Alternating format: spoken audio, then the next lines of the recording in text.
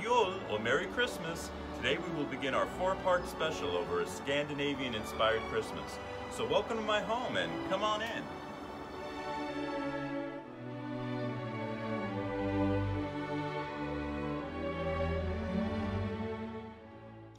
There are so many wonderful Scandinavian Christmas traditions that make Christmas time so fun and festive. This year, I decided to create a Scandinavian inspired Christmas and learn about some Scandinavian Christmas traditions.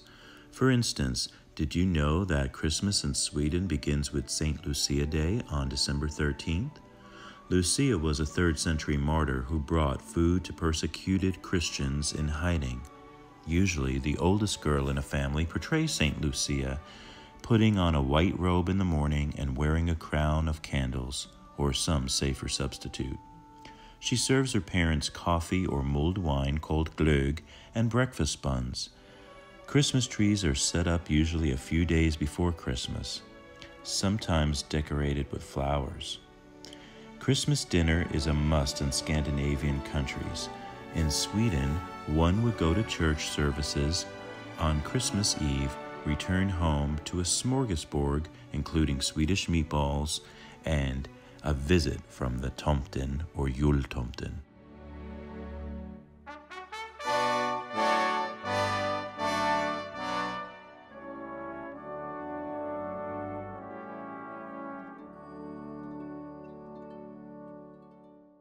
In our four part series over a Scandinavian inspired Christmas, we're going to show you how to cook up some delicious Christmas scallops, Jan Hagel Danish Christmas cookies, Swedish meatballs, a delicious cucumber salad, Swedish porridge, gingerbread cookies, glögg, which is mulled wine, and rosettes. We're also going to show you how to make some fun and festive crafts like a jultomte and a Scandinavian star ornament. In addition, we're also going to show you how to make some different and fun ornaments for your Scandinavian inspired Christmas tree, and we'll end it with a beautiful tablescape for your Christmas dinner party, Scandinavian style. All on the next Happy Cooking with Ivan Douglas. So stay tuned. It's a Scandinavian inspired Christmas.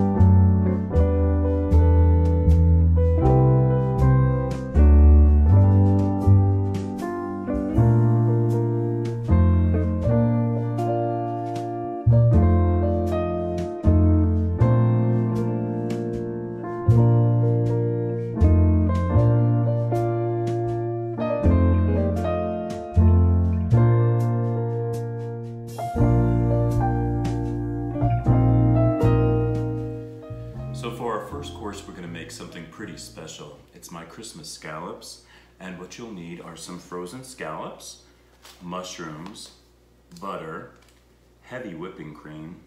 I have some Progresso Italian breadcrumbs mixed with some uh, grated Parmigiano Reggiano cheese. This cheese here, oh my gosh, it's so good. I could just eat it by itself. It's so good.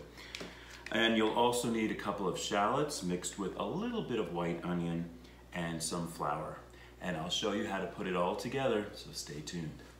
Okay, so what you want to do is get a skillet and you want to get some uh, dry vermouth and you're going to poach your scallops in there for approximately um, about 40 seconds or so.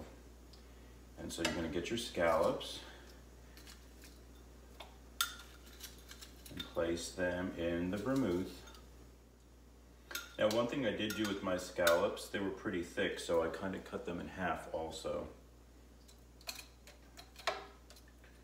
And you want to poach them for, like I said, about 30 to 40 seconds. And then you want to take them out of the pan. And you will be needing the vermouth for your sauce. So hold on to that. Okay, so next what I want to do is I want to get some butter.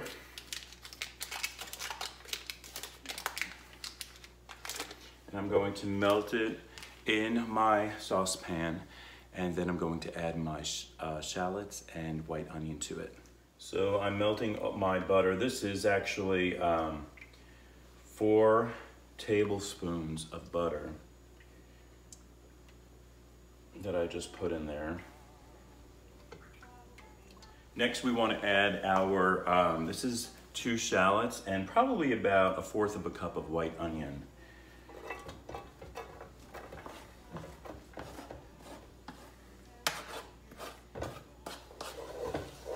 And what we want to do is make sure that we cook our white onion till it's translucent and our shallots, of course.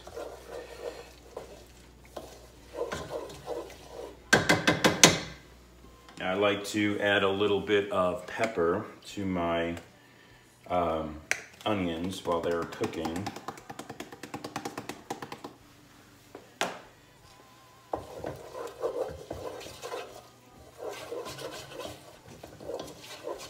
Mmm, smells so good. I just love the smell of onions.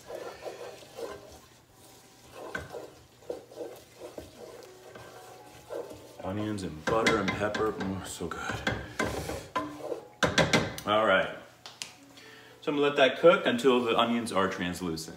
My onions are looking really good and they smell fantastic. Oh, so good. All right, so now I'm going to add my uh, mushrooms to it.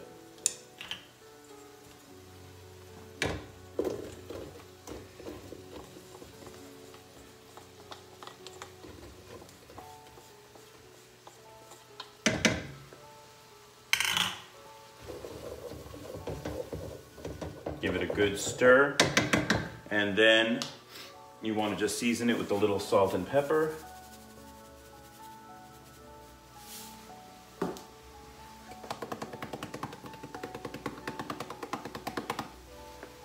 Give it another good stir.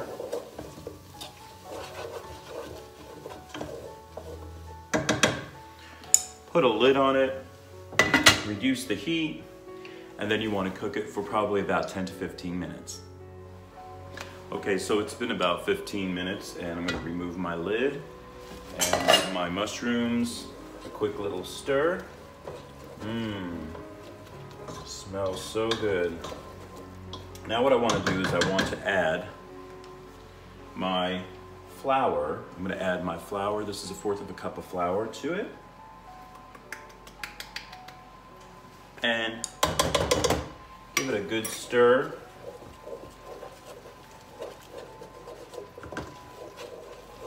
After your uh, flour and your butter combines and it makes a almost like a paste, you're going to add your the dry vermouth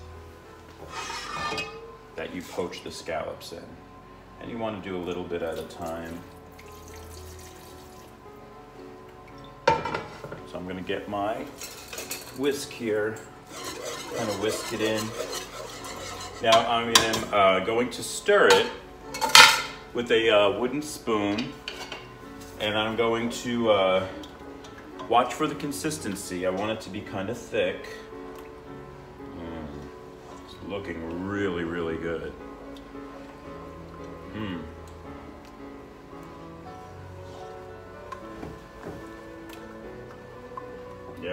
So you can see how it's becoming like a really thick sauce, almost like where it's coating the spoon.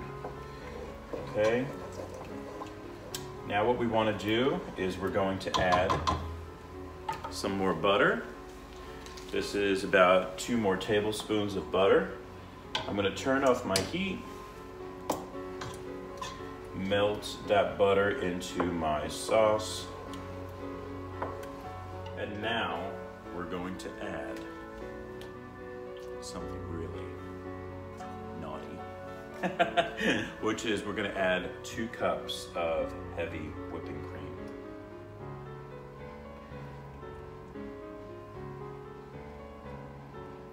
After all, it is Christmas time. I'm gonna give that a good stir.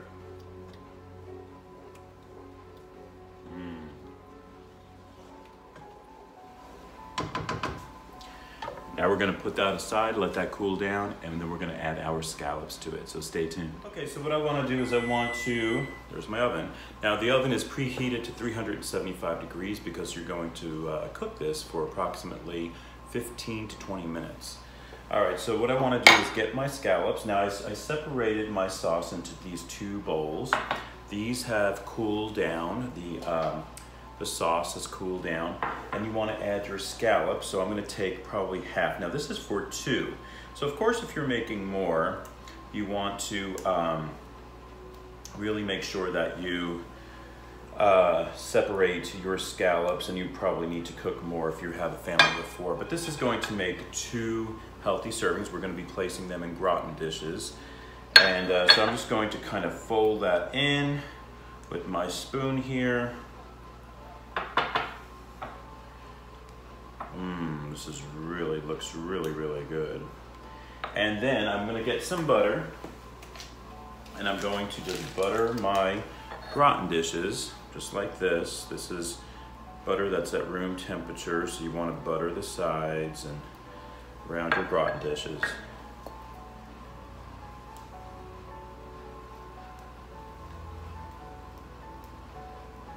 Okay. All right, make sure it's nicely buttered. And then we're going to put our scallop dish in our gratin dishes. Mm. Yum. You don't want to fill it too high because if you do, it might kind of bake over, or cook over, I should say. So let's get this other one here.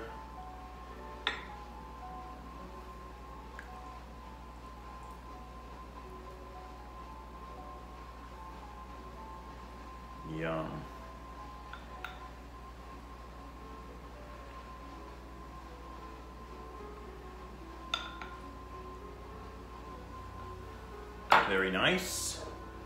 Looks good. Now what we want to do is get our uh, Italian breadcrumbs with our Parmigiano Reggiano and we're going to top it with that because it's going to give it a really, really nice crispy top.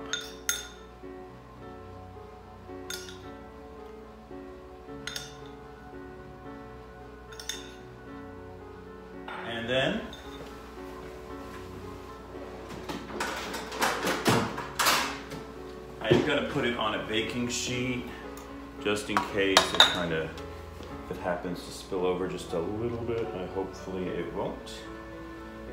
But we're going to bake it or put it in the oven at 375 degrees for approximately 15-20 minutes, so stay tuned. Well, I just took them out of the oven and it's been approximately 20 minutes and all I have to say is yum.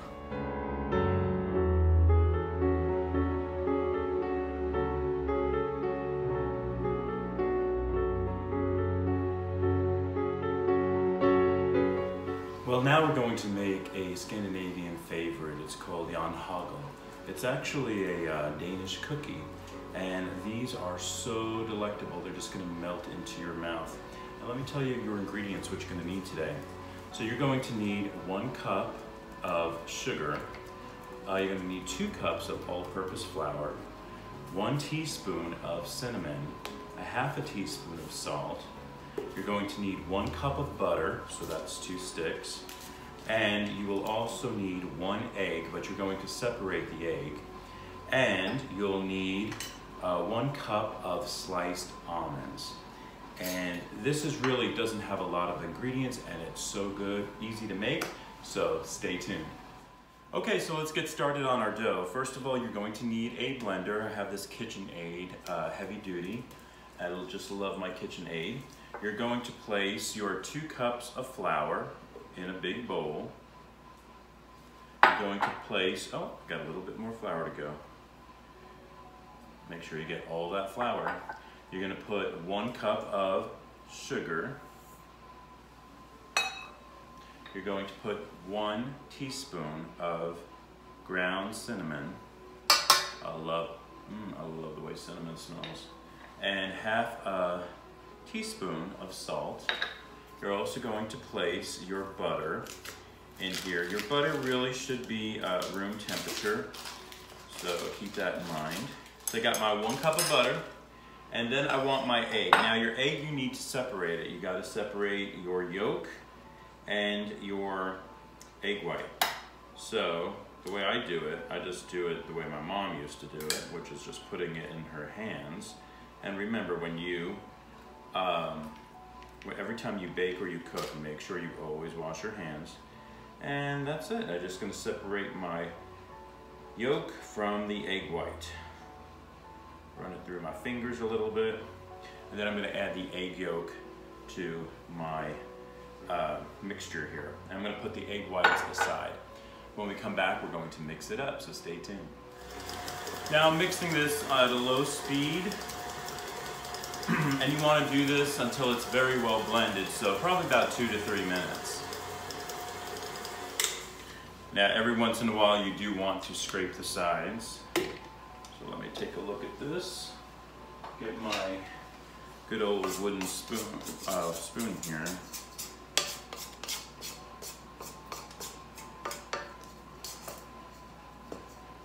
it's looking really good. Continue for another, probably another minute or so. You wanna grab a wooden board, make sure that's handy because you'll be taking out the dough and separating it. All right. So this is really coming together and it's pretty much done.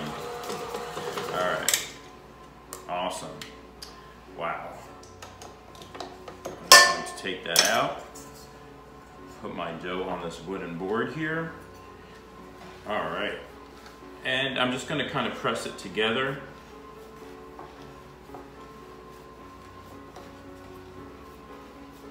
Very nice This looks really, really good. I'm going to separate mine now. So let me show you up close. So basically you're pressing down your dough.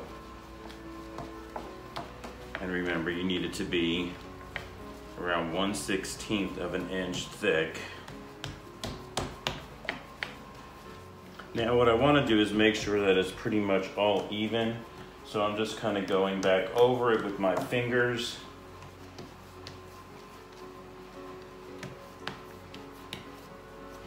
And this is such a nice Christmas cookie.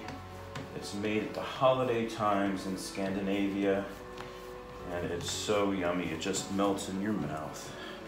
You're just gonna love it. Okay, I think that's looking pretty good. All right, so I'm pretty much done. Now what you wanna do with your egg white, you're just gonna beat it with a fork, and this is the way my mom used to show me. So you just get your egg white and beat it with a fork.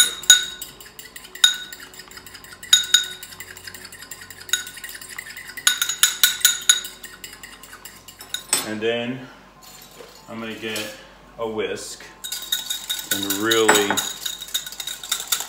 whisk it up.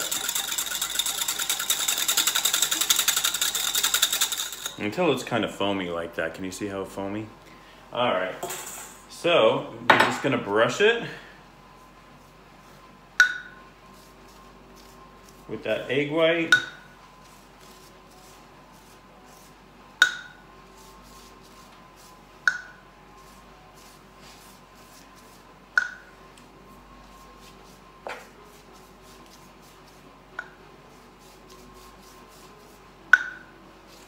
gonna look so pretty when it's done too.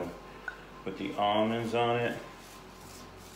Okay, I'm gonna leave a little bit to the side and then I'm gonna sprinkle it with the almonds. You wanna make sure that it's nicely coated and evenly dispersed. There we go. Ah, that looks so good. Wow. All right. Jan Hagel, everybody. Jan Hagel. Okay. And then you're going to put it in the oven. It's at 350 degrees and you're gonna bake it for approximately 12 to 15 minutes. So stay tuned. Okay, so we're back. So I'm gonna check if the Jan Hagel is done. It's been approximately 15 minutes. And yeah, it looks like it's done. So you definitely want it to be like a golden brown color, all right? All right, so let's take this out. Oh, wow, look at that. That looks so good. Can you see that? It looks so yummy, golden brown, yum. And what you want to do right away is you want to cut them into two inch squares and put them on a cooling rack like this. And so let me get my knife here. I'm going to cut these into two inch squares.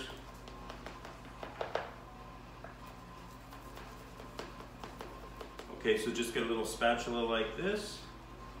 And sometimes the first ones are not so easy to get out. And then you're just gonna place them on your drying rack. Just like that. Ooh, yummy, they look so good. Mmm. Jan Hagel, everybody. Okay, our Danish inspiration for our Scandinavian inspired Christmas. I hope you enjoyed making these with me today. If you have any questions, please leave a comment in the comment section.